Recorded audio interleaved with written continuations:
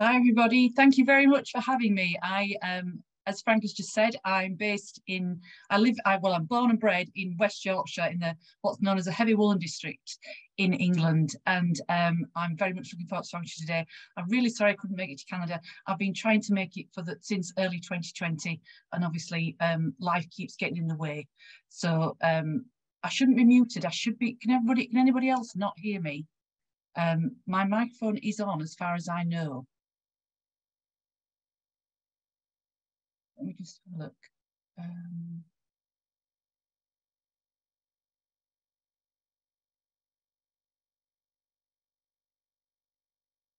yeah, everything okay? People can hear me? Good, excellent. Right, so um, I'll just share my slides, bear with me. Um, share screen, there we go. Here we are. Can everyone see this? Is that the full presentation that you're getting? Always slow.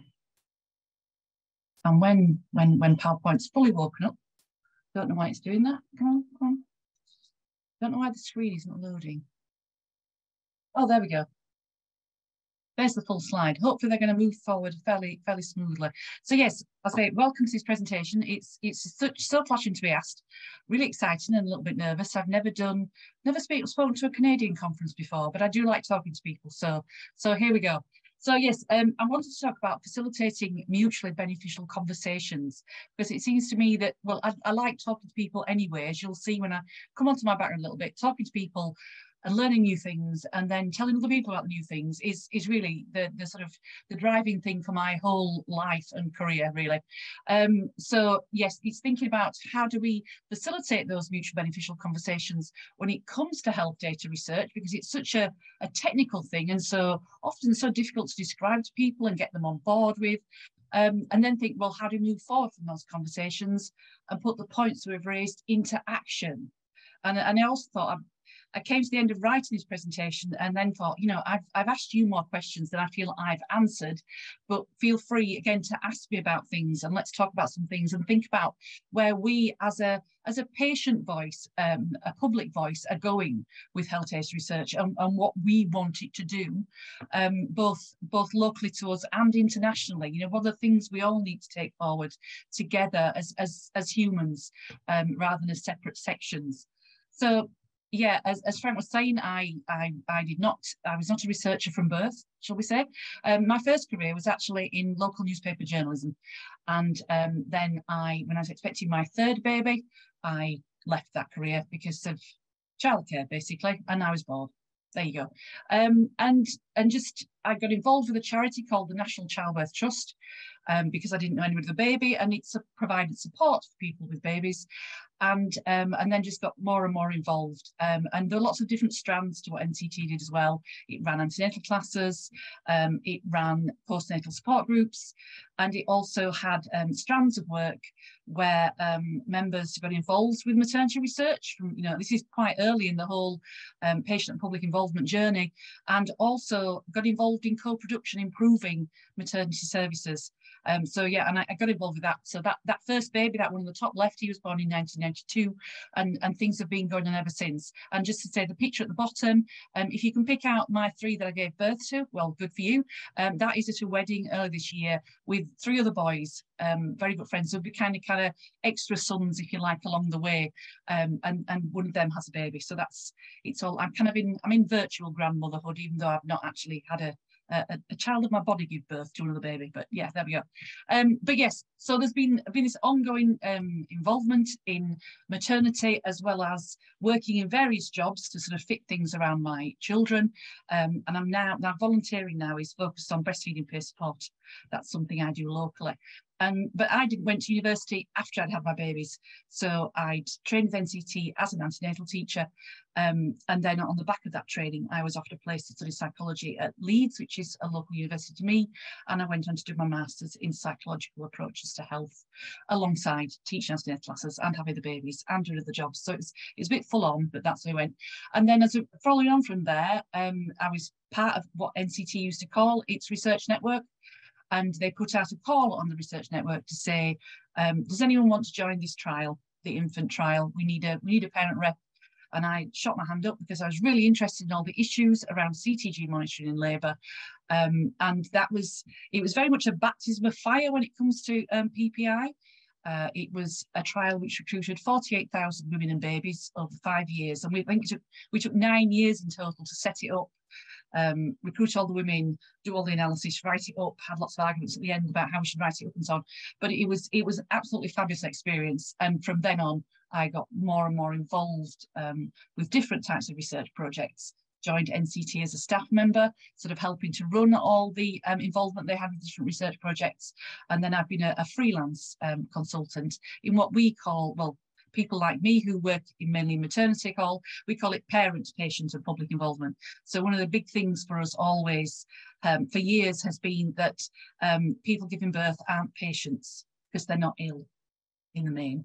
Um, they are parents, they are mothers, they are fathers, they are women, they are men, but they're not patients, and and and that's a big a big thing within I say within the maternity world. And just to add, I, was one of the original members of Health Data Research UK's Public Advisory Board. I think it was set up five or six years ago, um, and I, I say one of the first people involved when they, they set that board, and I'll, I'll come back onto that a little bit later. Um, and I just want to say a little bit more as well about the sort of landscape that I'm operating in.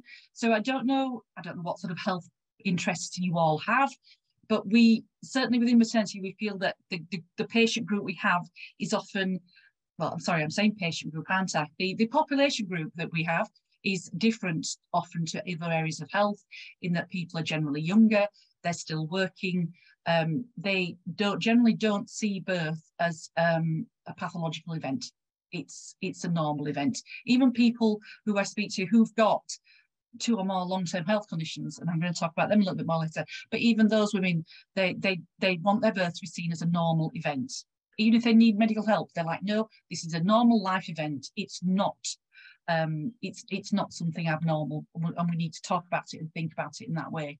But there is this range. So there's um there are recent service user representatives who are usually very busy with small children, so quite limited in how much they can input, but they're still interested.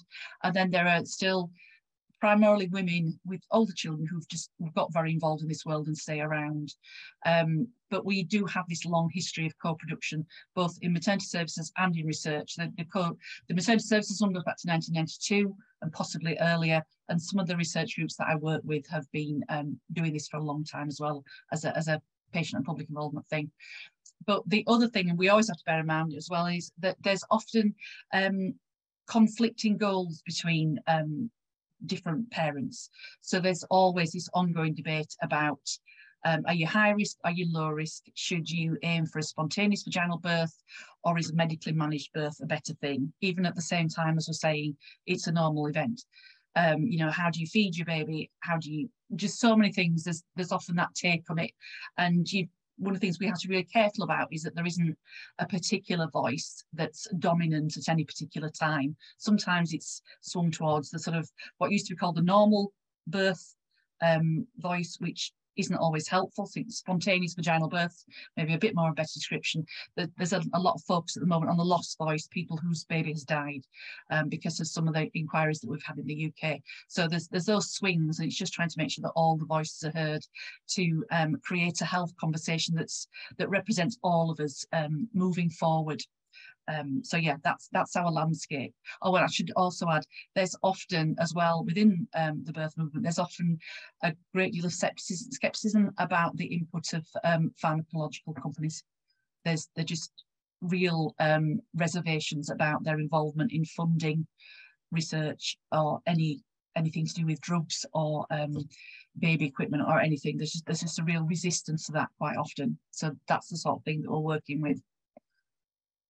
So when I'm when I'm doing projects, um, this is a really important thing. What I'm going to do in this presentation is um, I've got very I'm outlining a few different projects I've been involved with and the things that we've done, as I say, to to get those conversations going and then to think about how we action the results of those conversations.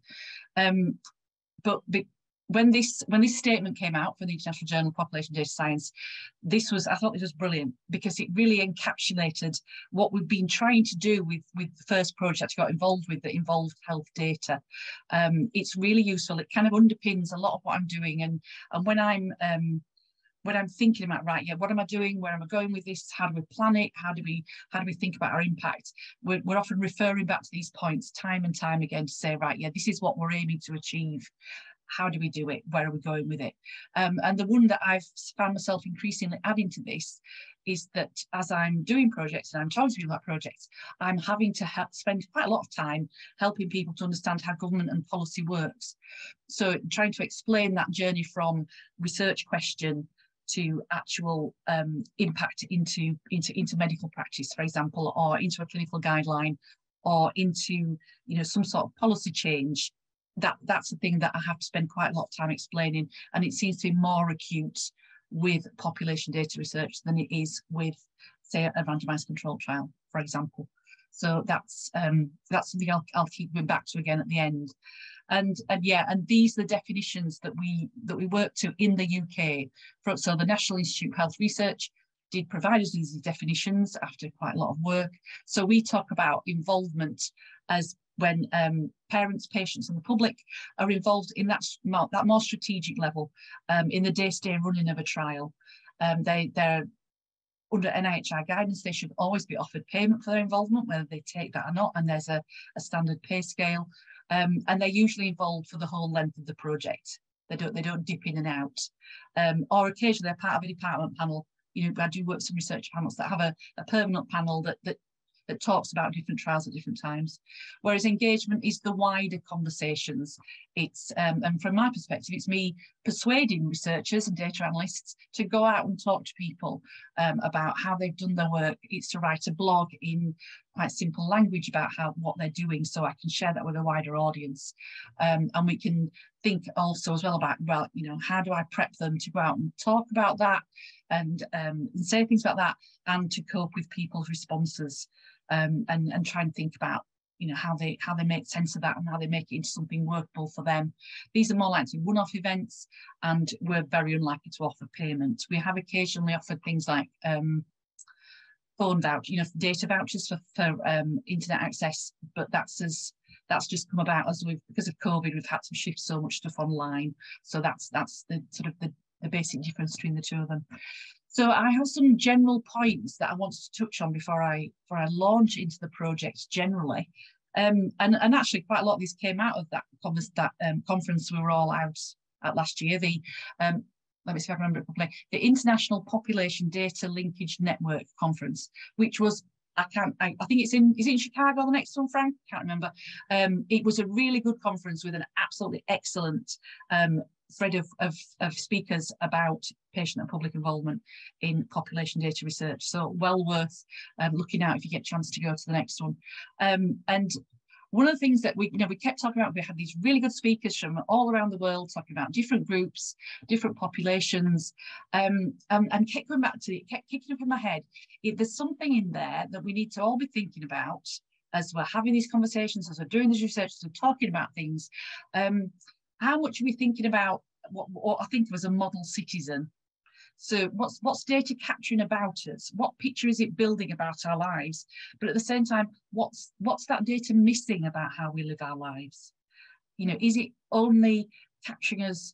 Well, if it's if it's government data, it's only capturing us when we interact with with the government system or with a health system. So what else have we got going on in our lives that that that big data picture just isn't capturing those things that we're doing to help us cope better, or maybe we're doing things that are actually impacting on our health in negative ways, but they're things that we do privately. So there's there's no record of that. So yeah, there's a lot of thinking there about yeah, what are we capturing? What do we want people to capture? Where are we going? Um, and is that data capture and the coding and the legislation that lies underneath it, how much is that keeping up with how we live our lives? You know, what, what's changing within our lives? What's changing over a 5, 10, 20, 50 year picture? Um, and what, you know, we don't really seem to have any formal mechanisms in the UK that I've come across where different groups come together and say, hang on a minute, this is happening. This is something that people are doing. Have we got it? How are we capturing it encoding? What are we doing? Um, and, and, where are we going going forward and we and we're constantly coming back to this thing of so you know i'll talk to a patient group and they're especially if they've got a particular interest in an area of health or illness they'll say absolutely we need all this extra data we could do so much more if we had all this extra data but then you go and talk to another group and they're like, mm, I don't know about that. I don't know about that.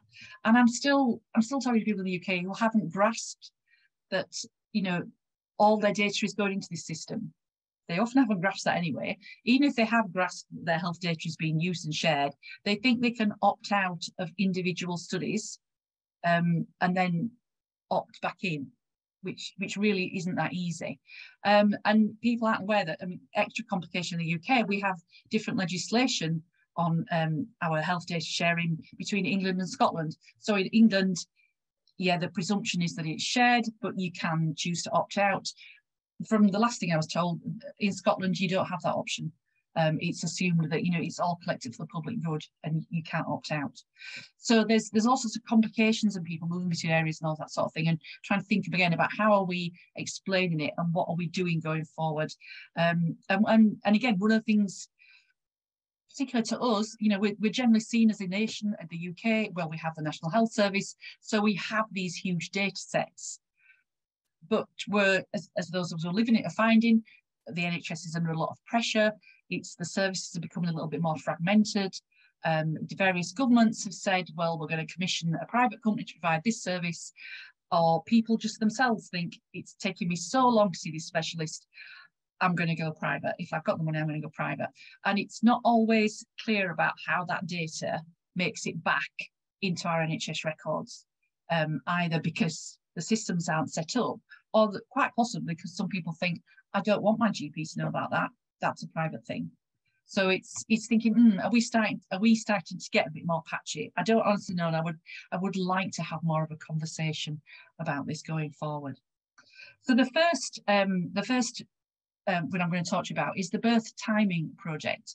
So I was not the PPI leading this. It was uh, my manager at the time, Mary Newburn, who's there on the top right, who's my manager at NCT.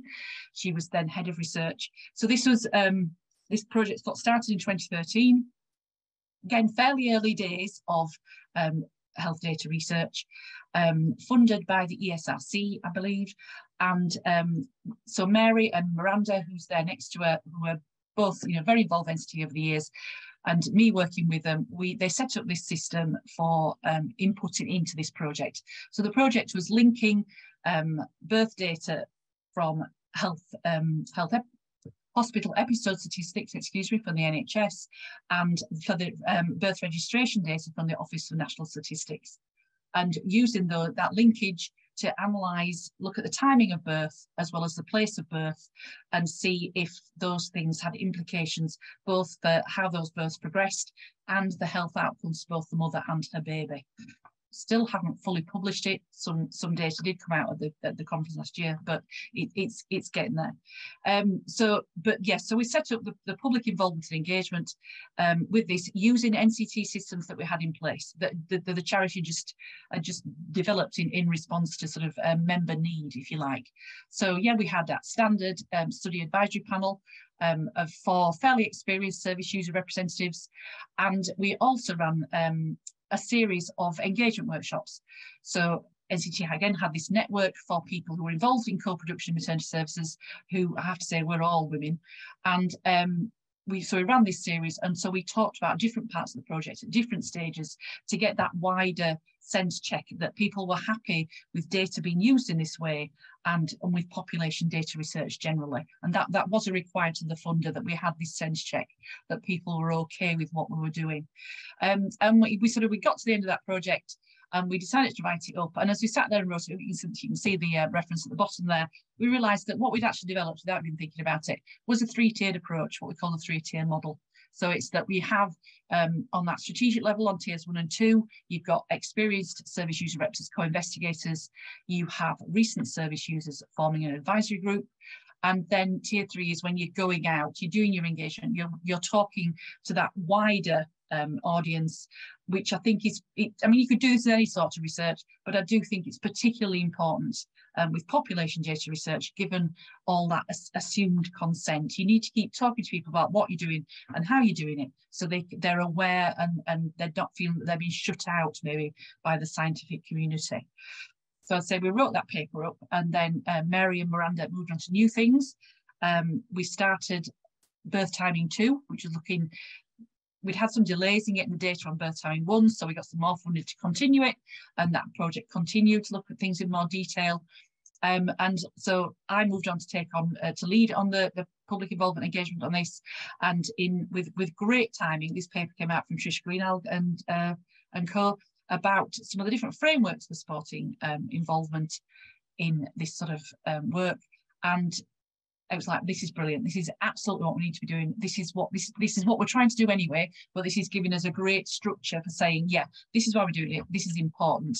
All these things need to be there within um, health data research with this assumed consent element that we're thinking about respect and support and transparency, that we're being responsive to patient need, and we're thinking about where we're going um, with that.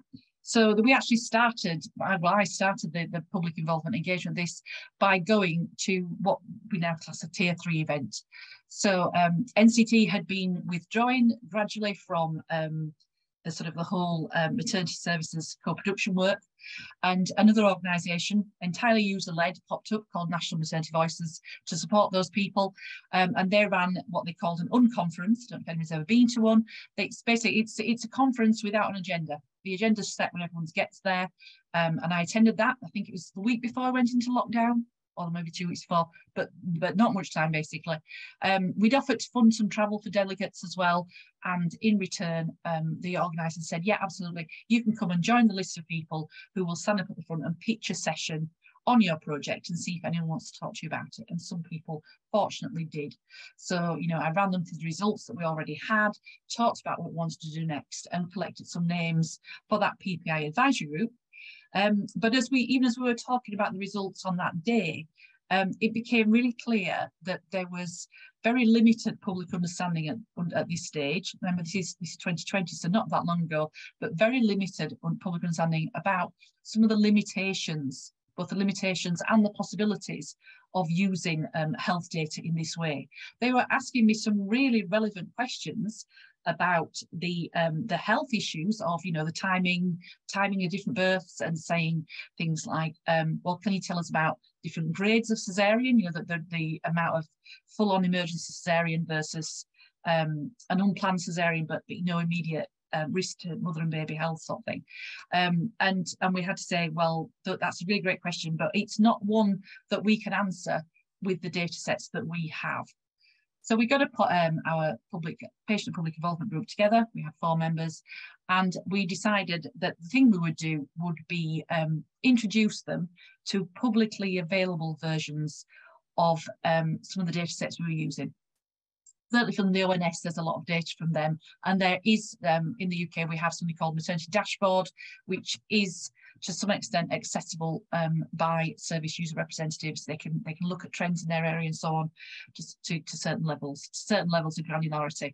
Um, and we thought, right, we'll we'll talk them through. We'll have a session. Me and the data analyst. We will talk through. Today we'll talk through some ONS data. Tomorrow we'll talk through HES. Tomorrow we'll talk through something else. Um, so we did this we set up these meetings, we got started, myself and data analyst, that was Lucy Carty, um, and we very quickly, very, very quickly realised um, that our group, as much as they were totally interested in maternity and data and output, they weren't interested in learning about data sets from a methodological point of view. But they did have lots of interest in discussing it from the point of view of health topics and, and we realised that that was that was our way in um, to getting people engaged. Um, and the really hot topics that we came up with, well, well, you can see the top two there on the slide. Um, miscarriage and ethnicity in particular are really key, and these are the ones that we we keep talking about myself and other people at different events. If you're thinking, yeah, miscarriage, this was this was really important. One of our members in particular raised this, saying she was looking for more data on that. And we had to say, well, there isn't any really because miscarriage it never makes it into health data records. It's not a routine data collection. It's not something your GP or your midwife really asks you about. Um, and it's something that happens to the vast majority of women in private at home. And you never, you never go and see, you you very rarely go and see a doctor about it. If it's happened several times, then they might say to you, okay, we'll, we'll refer you on for investigation, but it's not until it's happened several times, at least, that they would do that. So you're thinking, yeah, this is a massive issue This is hugely important to women and to their partners actually as well. It has a massive emotional impact, but it's not there in the population data. It's like it doesn't exist. It's just not there. So that's something that, you know, we, and I'm, I'm still going into meetings and I'm still saying, yeah, you're planning that, that's great, but where's your miscarriage data?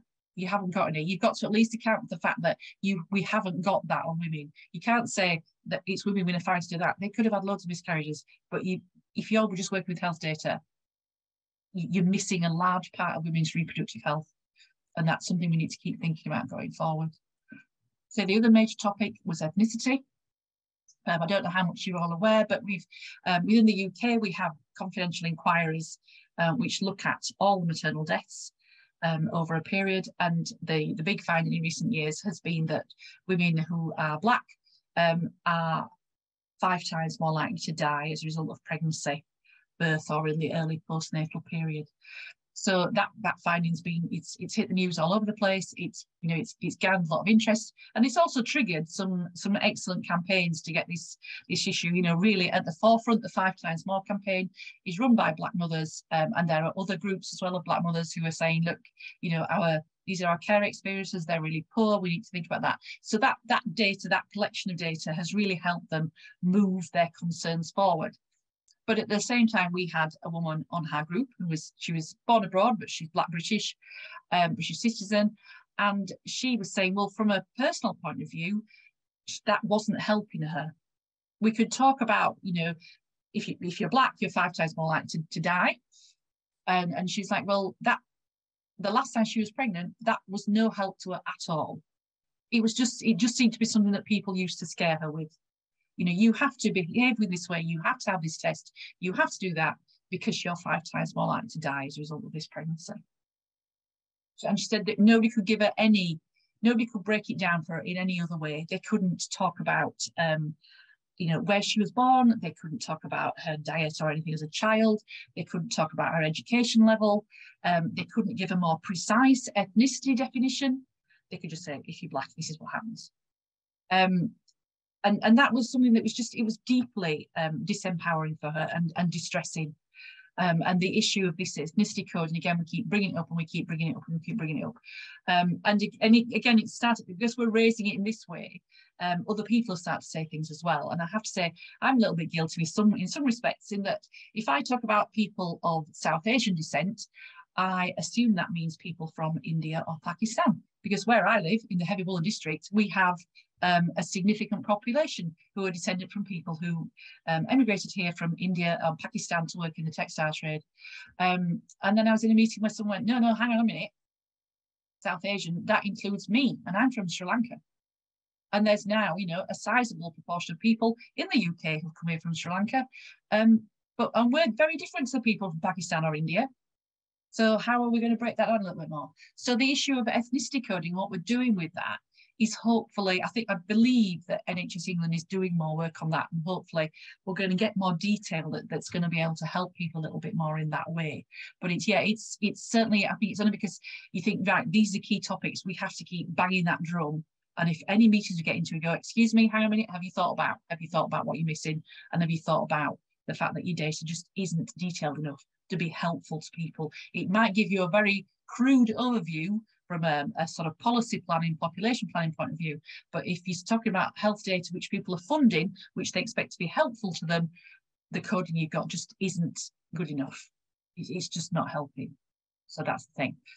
So we um, went on, we developed some guides, um, which we've shared with, with members of National Maternity Voices so they can start to think about, hopefully they can use data.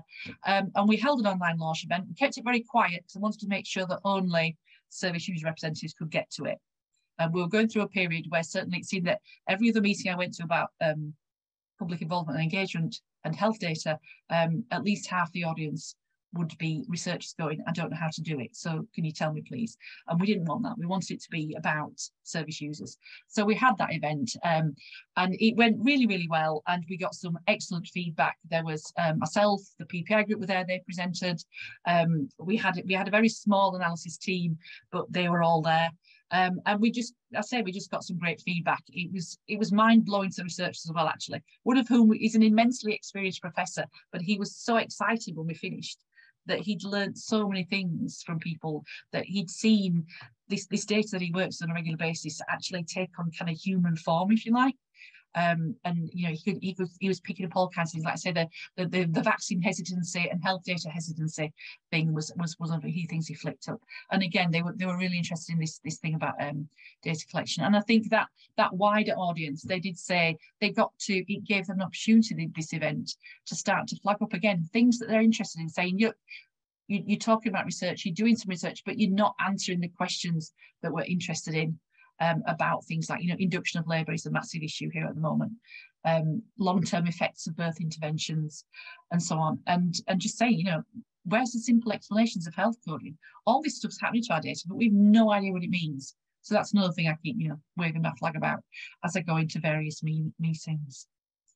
So moving on, I'll take you around to Mum Predict, so Mum Predict is, um, again, it's a health, mainly a health data project looking at women who have two or more long-term health conditions and um, the impact of pregnancy, birth and early parenthood on their health conditions and also the impact of their health conditions on their pregnancy and on their baby going forward. So really just I'm, I'm learning some absolutely fabulous stuff with this project but we thought oh we'll adopt that three-tier model this here is our aim for um, public involvement engagement with Mum Predict. Um, we, were, we were very keen that it was sensitive. I think the sensitive word kept coming out a lot because as we as we were already kind of aware, but it's come out more and more as we've talked about this, there's so much sensitivity around women's health conditions and things that they feel that they're judged for just for having a health condition and so on. So we want to be really careful about how we presented that and, and get it out to lay audiences. Um, and, and this is the research goal to, you know, characterise and understand the determinants and consequences of multimorbidity in pregnant women and these predictive tools. Um, so we're doing a lot of data linkage. We've done some, there's, there's a whole interview thread, um, positive interview, and also some prediction modelling, which is, I yeah, I really need an idiot. If anyone's ever come across an idiot's guide to data modelling, please share it with me because I would, I really need to know more about this. Um, but yeah, so moving forward, we we said, yeah, let's do three tiers again. So in the first, in our sort of pre-develop, in our development phase, we had a core PPI group of six members who all had two or more long-term health conditions. Um, and they presented at the launch event that we had that was that was multidisciplinary, open to all. Unfortunately, I wasn't there after having prepared people very carefully because I was in hospital with COVID, having virtually fallen off my chair in, in the preparatory meeting. Um, but they did a fantastic job. And you can, if you search for Mum Predict, you can actually um, watch those recordings online as well and hear them and talk about their health conditions as well as some of the researchers talking about the work that we're doing. Um, but yes, yeah, so we, we got our funding for um, another three years and and then it was right sit down let's really plan the public involvement and engagement because we have um, we have to cover in our PPI and E um, 16 groups of health conditions um, certainly multimorbidity slightly complicated by the fact there is no agreed definition of multimorbidity. So we have developed our own, which I say includes these 16 groups of health conditions. And we are looking at both physical and mental health. We're, we're including both of those things in here. And it's everything from relatively mild conditions, things like um, eczema and asthma, which which may be annoying to people if in their worst state, but aren't necessarily life-threatening, up to the, the really serious things as well. Um, we wanted to represent all four countries of the UK because there are slightly different health systems in the four countries um, and we have universities from all four involved. And we thought it was important to include um, the perspective both rural and urban because what we're, and again, we've got that some data to support that. When we talked to a few women, it's like, well, actually, yeah, how many women uh, when they're pregnant and they've got two or more health conditions, are they seeing one specialist obstetrician who sort of covers everything? Or they're having to go to different hospitals sometimes at different sides of the country in some cases um, to see, you know, someone who specialises in pregnancy and cardiovascular versus someone who specialises in cardiovascular and epilepsy, for example. Um, and obviously we also want to cover um, ethnicity and culture and gender and sexuality in that as we were going forward. So we expanded our um, public involvement group to, we I think we're now up to 13 members, although they're some are more active than others. Um, let's say they're, they're often quite busy having babies as well, which has caused people to move in and out. That's always an extra issue with maternity. Um, so yeah, I said we expanded that group and we said, right, our tier three will be um, often about going out and talking to um, different groups and actually focusing on either health conditions or population groups who are more difficult to to find or they're, they're seldom heard let's say in research um you know and we wanted to do you know we when we when we when we um, envisaged this, we were thinking, right, this is my travel opportunity to go around the country and talk to different groups. And then obviously we went into lockdown, so um, that didn't happen. So um, we've had to mainly shift to online. But again, it's an idea is that you know we're, we're talking to people at different points in the program. We're getting that sense check that they think that they're happy with what we're doing. We're answering their general questions about um, what's happening with health data um, and how we can you know use the data that we have to um, improve care. Um, and those are the sessions we've run so far. Um, LGBT Mummies is a charity in the UK. Um, we talked to a group of mental health peer supporters. So there are various mental health peer support projects to um, linked to pregnancy and birth um, around the UK. So we, we picked some of those up. The West Bromwich group is um, an area of Birmingham, which is a, a more deprived population.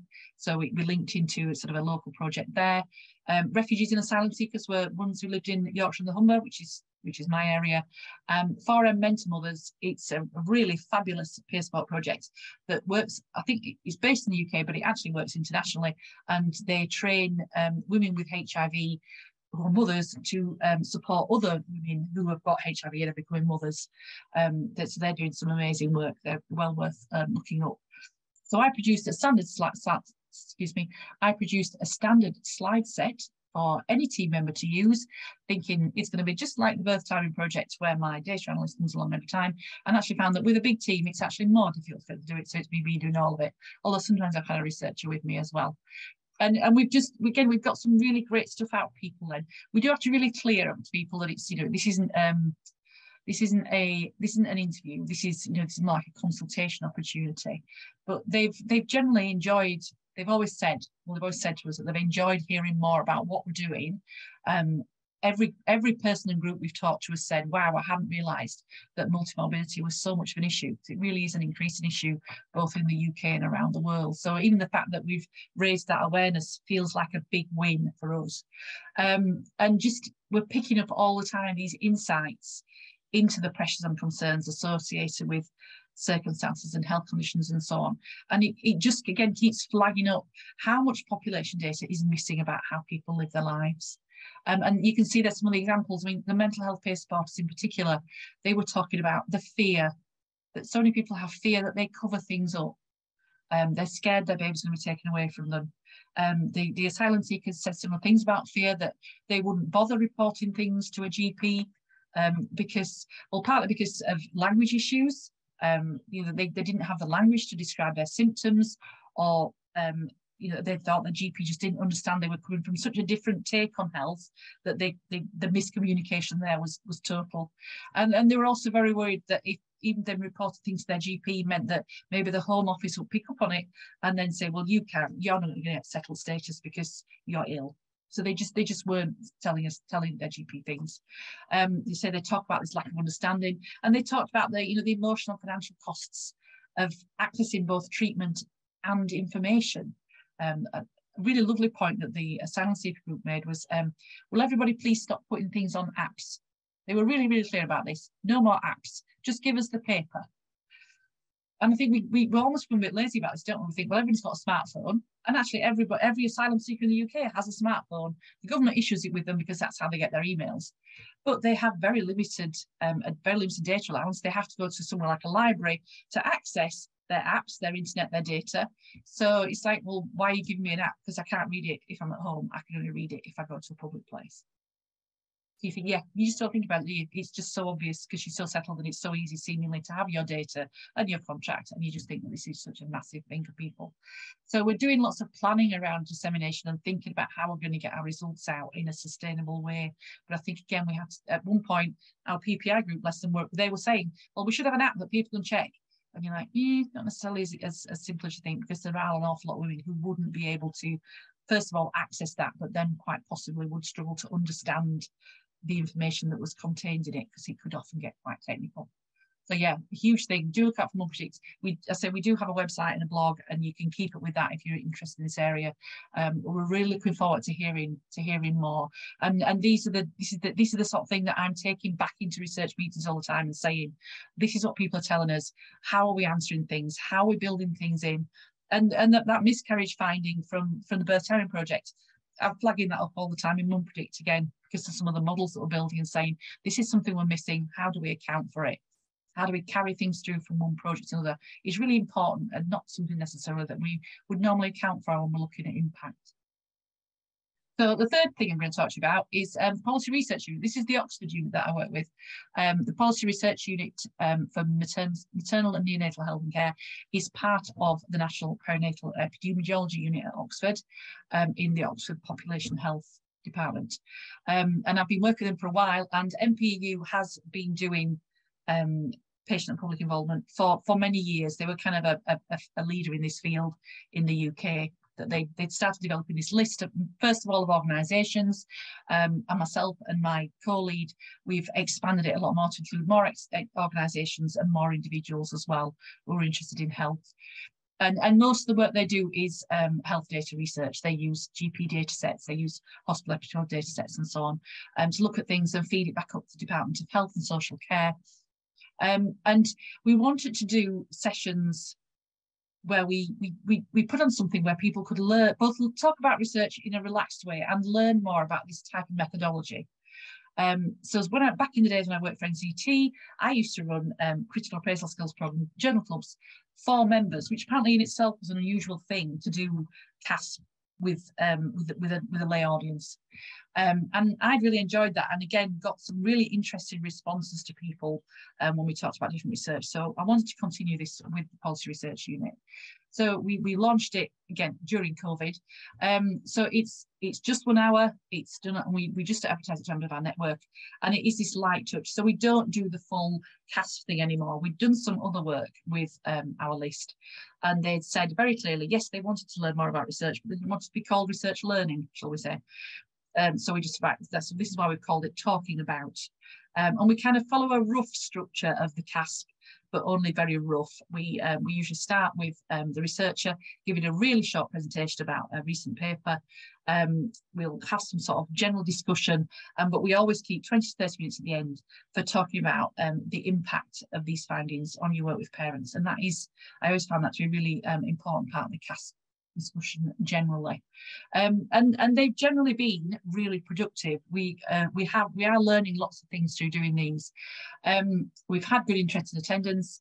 We do find that people's background knowledge varies massively. We always send them stuff out, but um, I must, I don't, maybe it's the same with all areas of health, but certainly with maternity, you run sessions on things and there's always a good section of your audience that says, I haven't had time to read the paper, tell me all about it um, hence the, the presentation that we started doing at the start.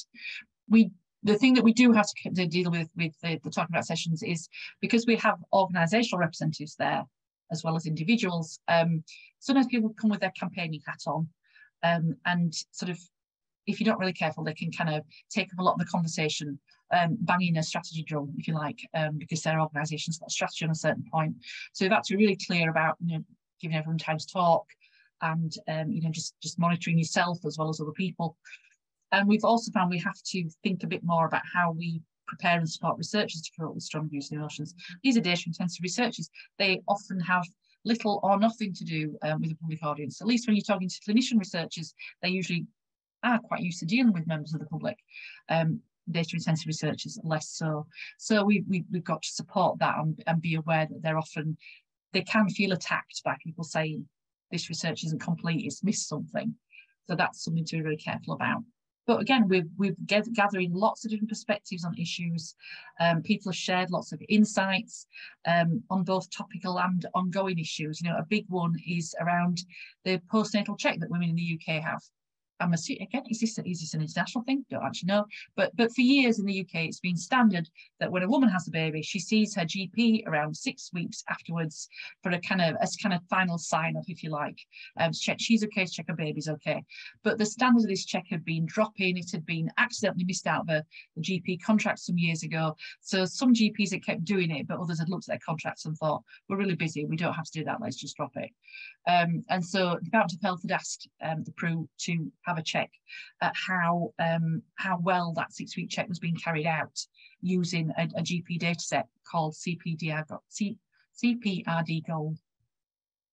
Um, and really interestingly, when we talked about it in the session, one of the things the researcher flags up was there is no standard coding for a six week check, which is like, this is insane. The, the six week check has been happening in the UK for years, and you're seriously telling me that no one has written a standard code for a six week postnatal check.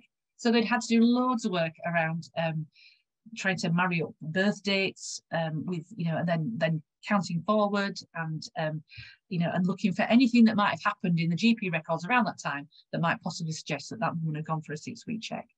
Um, so yeah, getting lots of things coming out of there, but we're also getting lots of things um, coming up. You know, we get new research questions out of these that we can start to take to back to Department of Health and Social Care and say, this is a thing that our our patient audience is saying is really important and needs to be looked at further. You know, people are asking questions about this, parents are asking questions about this, um, but we don't have any evidence. What's what's happening? This is what's happening on the ground. You know, you need to fund us to do more work on this. So so that's that's it's been really really valuable and looking forward to doing more of these going forward. So as we're doing all these things, you know, I'm kind of thinking all the time. You know, I'm one of those people. I'm very much um, I heard them as described as we're horizon scanners. Some of you may be doing this, some of you may be very good at focusing at whatever you're doing at the time. I'm not always that focused on what I'm doing at the time because I'm always thinking ahead, but I'm always thinking about, well, what is my impact here? What am I doing? And going back to those original goals from that, um, from the IJPDS statement, I think, I feel that we are starting to do general, I am certainly with the work I'm doing, I am doing more and more awareness raising. I am bridging some of that gap. You know, I have a colleague who says, um, people like her and me, we should call ourselves knowledge intermediaries. We're not just PPI leads, we, we know we're helping to translate between two audiences, the lay audience and the scientist audience. Um, and we're also bridging that gap between people and the data about them. We're helping them find out what data is there, helping them make sense of that data. We're helping establish that social license. Um, we're promoting um, we're, we, are putting stuff into place to um, help people feel more engaged with science and an asset, that extra goal, helping people all the time to understand how government and policy works. But at the same time, I'm constantly thinking, well, yeah, but I know I'm doing this and I feel I'm getting somewhere, but what percentage of the population am I actually reaching? And what and the people I am reaching, what messages are they taking away to talk to other people about? I'm still not entirely sure I'm being as clear as I could be on that one am I reaching enough people of different ages? Um, you know, and where's data intensive research? Where's that in education? It's not because from the discussions I've had with university lecturers, um, you know, doing data analysis, it's not on on you know these massive data sets. It's not in undergraduate education, even for um, medical undergraduates, doctors, midwives, dentists, and so on. And and you know one of the complaints I regularly hear from the analysts is how um, that the, the code is not accurate, the code is not filled in properly, the records aren't complete. I think well actually if we could reach people at an undergraduate level, at least with one module, they'd code better because they realise it was important. And we keep coming back to this thing, you know, what processes are needed for data collection and coding to keep up with social change we're constantly, you know, we're regularly raising issues and saying, what are we doing? Where are we going with this? These are issues that people are raising. What what's the what's the procedure for making sure that that that changes that we're flagging up are actually being actioned? So my so the, the two examples that I have here are from my um, Mum Predict PPI group. So as we were setting up the project and the PPI, the two things they realised is they've been particularly interested in was making sure that um, transgender parents were represented and that um, we looked at links with um, fertility treatment. And they wanted to know if fertility treatment was more was more common, um, for example, in people with with multimorbidity. Um, and on both of those, we've kind of drawn a blank, but for different reasons. Um, we, we discussed these at research meetings, and the research said, well, we don't have coding in the UK, for transgenderism. So we can't actually look at it very effectively. Plus, there's the issue that their understanding was that quite a few of the people who, who were having treatment um, were quite possibly doing it privately, and that wasn't always making it back into their NHS record. And we keep raising it with, with um, NHS England, Department of Health, and saying, you know, uh, have you got this yet? Have you got it? You know, because people keep asking us about this. And the last I heard, they were just said they were they were caught up in some legal issues around definitions. So we've, we're still not getting there. You know, this is something that people are doing, but we're not capturing it very effectively. and and on the fertility treatment thing, well, now that, that data is captured. You know, the um, even when the um, NHS has um, contracted out fertility treatment to private providers, it, there's a lot of legislation around it, and they have to submit that data to the Human Fertilisation Embryology Authority. You know, it's, it's, that's really tightly controlled. But at the same time, the legislation that puts that into place, well, that was that was enacted well before we started doing um, health data research. And um, it's really difficult for researchers it's even more difficult for researchers to get that data than it is for them to get um, normal health data sets. So it would have to be a kind of separately funded project um, rather than, than part of the project that we had going on. Um, so it's it kind of yeah, it's one of those things again. You know, what's happening? What's happening? What's happening in private healthcare? Is it always making it back into that public record? And how much are we losing as as things like the NHS become more fragmented? How much are we losing on dentistry, for example? Much of um, adult dentistry in the UK is now by private provider. Um, there are, and in some areas there are, there's very, very little NHS dentistry capacity to the extent that we occasionally have um, like emergency vans come in and park in the town centre for people who have no dentistry access and have massive problems to go and get some emergency treatment. So yeah, there's there's something, there's always that thing of, you know, what's happening, what's happening within people's lives, what's happening within um, the, the healthcare service, what's happening within within all kinds of things that's influencing those movements. You know, our our as our lives move through, as we move through our lives, how are we how are we capturing sufficiently and how are we accounting for changes over time? And yeah, when we keep coming back to this thing, you know, how do we teach people to balance data against anecdote? It's it's a constant thing. You know, you anybody who works in infant feeding support will tell you, but every time you talk about um, health benefits of breastfeeding, for example, someone you are guaranteed will pop up going, yeah, but I was bottle fed, I was fed Weetabix from two weeks old, but I'm just fine. Well, maybe you are, but lots of people aren't. But it's very difficult to say people that when it's a when it's a daily held belief, shall we say? Um, so we uh, just keep thinking about impact and where we're going with impact, what we're doing with impact, and how we capture impact. Um, we start to think, I've started to think a little bit about this, you know, we, we talk about it being personal and local as well as national. We, I've, I'm starting to try and prod people a little bit to say, um, how can groups and organisations use your expertise? Um, you know, how do, how do we make things feel, how do we make people feel like they've got, a, um, what's the word? How do we make people feel like they've got some sort of contribution that they've got some kind of you know they've got some agency around health data as well and and i'm constantly saying to researchers you know are you planning your impact and dissemination from the start I've, I can say to researchers, I know that you plan certain things from the start because I've seen you do dummy tables for your stats. Why aren't you doing dummy press releases? Um, it's, it's the same thing. You've got to think about this. Where are you going with this? You can't just say, project's over, I got the results done. That's not part of the um, that whole social license your data capture. But then sort of I wanted to come on to this final thing. You know, a, a, lot of what I do is say working on individual projects and nudging researchers and talking to people. But I, as I say, I did join the Health Data Research Public Advisory Board. Um, it's fair to say it took us a little while to figure out what we we're doing and where we were going. Um, HDR UK were very good about consulting us about different things they had going on, but sometimes it was like we're being consulted about so much stuff, we never got to work out what we wanted to achieve as a group. Um, and we were all used to working as individuals within within research teams, if you like, as well. But we did start to get to get get things together, um, and that link is to a blog that um, we wrote.